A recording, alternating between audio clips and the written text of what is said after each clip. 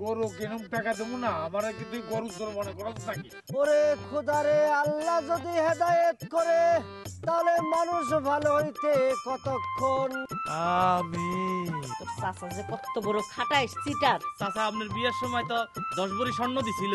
ওই দশ ভরি স্বর্ণের পুরাটা ছিল গিলটি সোনা চাচি কি বুনাইলেন এটা চাচা তো তাইলে মহা সিটার খালি চিটার না চিটার নাম্বার ওয়ান নাউজুবিল্লাহ নাউজুবিল্লাহ।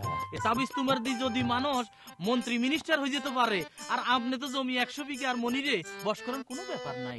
ওই হন্যির ভূত যে আমার বাড়িতে লজিং থাকে আমার ভাত খায় ওই লগায় আমি আমার মাইয়া বিয়া দেবো নাকি? পায়ে হাত দিয়ে সালাম করা যায় না? আপনারা দেখলে আমার রাগ উঠে।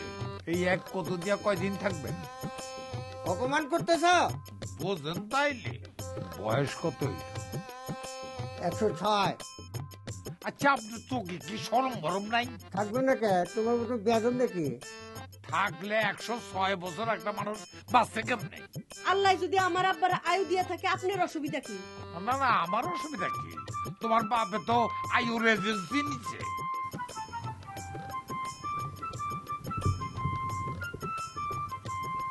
এইবার যদি তুই বেশি দিন থাকস সাত দিনের বেশি থাকলে তোর আমি বিষ খাওয়াই দিব।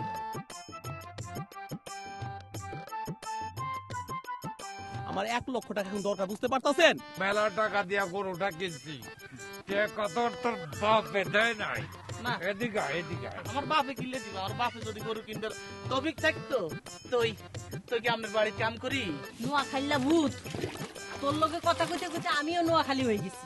বললি কিসে আমরা এক দেশের মানুষ যা। যদি একটা বিয়া করে আনি এটা নতুন কিছু হইবে। এই দুধ কি আপনার? আমার দুধ হইব কেন?